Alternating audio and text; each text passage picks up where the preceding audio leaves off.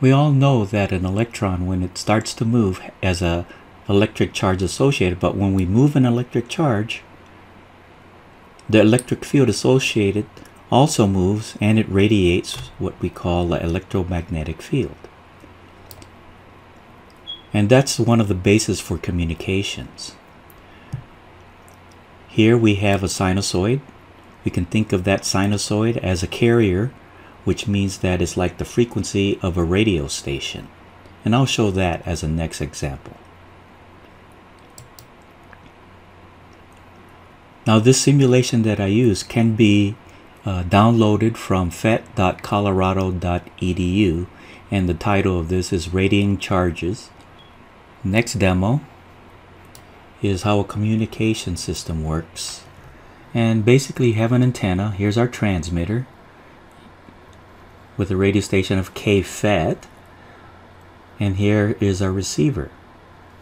As I wiggle this electron, we could see that it creates movement in the receiver. Now what I'll do is I'll show the electric field associated with that charge and as I move that charge that electric field changes and as the electric field changes it creates movement on this uh, receiver on the electrons on the receiving antenna. So let me uh, click some positions of the electrons and you can see that. And I'm just going to oscillate it so you can see the movement you can see the electric field. I'm going to draw a curve with vectors so you can see the vector the strength of the field and you can see it starts to decrease as it goes from point A the transmitter to point B the receiver. Here's our full electric field.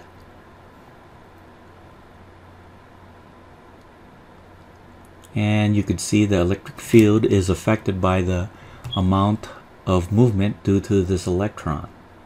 So you can see here we have the transmitter.